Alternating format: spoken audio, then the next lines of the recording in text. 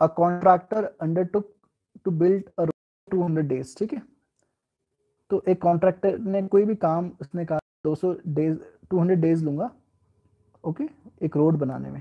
So he employed 140 men okay so after 60 days it means it means that जो वो 140 जो 140 को जो एम्प्लॉय किया था, उन्होंने कितने दिन काम किया? 60 डेज़ काम। He found that only one fourth of the road could be built तो यहाँ पर तीन चीज़ें दी देखो मेथड लगेगा।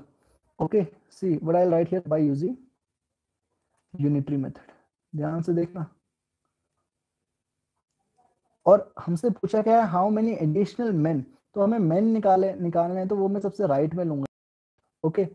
सबसे लेफ़्ट में क्या लूँगा मैं? But I take I take suppose मैं ले लेता हूँ number of days number of days पहले ले लेता हूँ।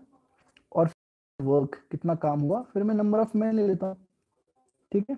तो पूरा 200 दिन में होना चाहिए। तो ध्यान से देखना, ये तीन चीज़ों को जब हम कंपेयर इम्पोर्टेंट है ओके ये मैंने बच्चों को बहुत ही कॉम्प्रिहेंसिवली पढ़ा रखा है।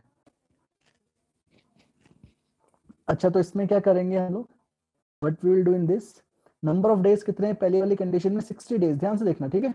टोटल 200 डेज़ लग गए काम होने में लेकिन 60 डेज़ पहले सिर्फ़ 60 डेज़ काम किया। आ, आ, कितने लोगों ने? 140 लोगों ने। और उन्होंने कितना काम पूरा किया? वन फोर्थ काम पूरा किया सिर्फ़ ठीक है? अब मुझे तो काम पूरा काम पूरे का मतलब होता है total work is equal to one always remember जो नए बच्चे हैं टोटल वर्क होता है हमेशा one one means work is completed okay तो वन फोर्थ हो चुका है तो रिमेनिंग कितना बचा? थ्री फोर्थ अब रिमेनिंग काम कितने दिन में करना पड़ेगा? सी 200 डेज़ में हमें पूरा काम करना है। 60 डेज़ लग चुके हैं। अब रिमेनिंग कितने बचे? 140 डेज़ बचे। ध्यान से देखना से रिमेनिंग 140 डेज़ बचे। इस रिमेनिंग 140 डेज़ वर्क होना है। तो इसमें कितने आदमी लगेंगे? इसका हमें ये हमें निकालना है। इसमें कितने आदमी लगेंगे? हमें निकालना है। तो हमारे पास टोटल कितने आदमी है? 140 हैं।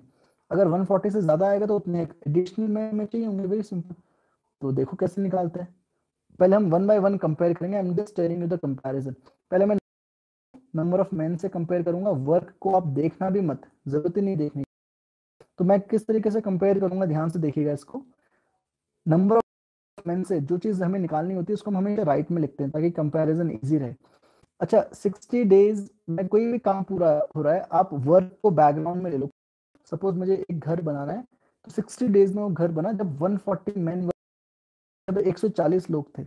अब वही घर 140 डेज़ में बन रहा है, वही घर 140 डेज़ में बन रहा है तो उसमें आदमी बढ़ गए होंगे या घट गए होंगे? डेफिनेटली घट गए होंगे कुछ ज़्यादा दिन ले रहा है। तो यहाँ से कंडीशन क्या आ गई? लेस कंपैरिजन में।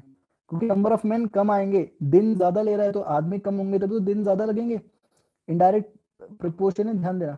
बस डेज़ का काम हो गया। अब हम वर्क को कंपेयर करते हैं। Let's compare work now okay अच्छा वन बाई फोर्थ वर्क अब आप नंबर ऑफ़ डेज़ को भूल जाओ। इसको अब आप देखो भी मत ठीक है?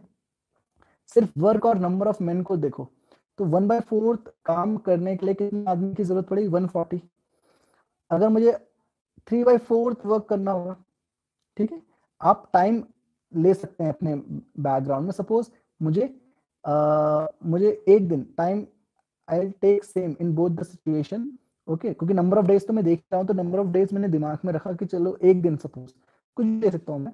सो वन बाई फोर्थ काम हुआ एक दिन में, जब 140 लोग थे। अब मुझे थ्री बाई फोर्थ वर्क करना है एक दिन में। तो मुझे अगर थ्री बाई फोर्थ वर्क करना है एक दिन में तो मुझे ज़्यादा आदमी चाहिए। So more will come from here ठीक है? ओके अब इसको कैसे लिखते हैं हम लोग? जहाँ लेस होता है, वहाँ लिखते हैं हम लोग लेस बाय मोर पहले कंपैरिजन में लेस लेस आया तो लेस बाय मोर दूसरे में मोर आया तो more by less into individual value into individual value. Okay? अच्छा लेस बाय मोर ध्यान से देखना। लेस बाय मोर तो पहले वाली कंडीशन में लेस क्या है? 60 इज़ लेस तो 60 बाय 140 इनटू अच्छा दूसरी वाली कंडीशन में जहाँ मोर आया, ये ना आपको। तो मोर में मोर बाय लेस तो मोर क्या है? Three by four divided by one by four होता तो इंटू फोर बाय वन हो जाएगा। Into individual value is how much 140 में। तो इंडिविजुअल वैल्यू की यूनिट मैंने ज़रूर लिखी। बस चीज़ों को कैंसिल करो you'll get the answer okay 150 से 140 कैंसिल फोर से फोर कैंसिल सिक्स से three one eighty man okay man लगेंगे रिमेनिंग काम करने को थ्री फोर्थ काम करने को और वो भी फोर्टी डेज़ में। अब मेरे पास तो 140 मैंने तो कितने एडिशनल मैन चाहिए? एडिशनल मैन कितने चाहिए? How many additional man should be employed to complete the work तो जो एडिशनल मैन कितने हो जाएँगे? 180 हमें चाहिए तो 140 हमारे पास है 180 माइनस 140 40 मैन चाहिए आपको additional to complete the work okay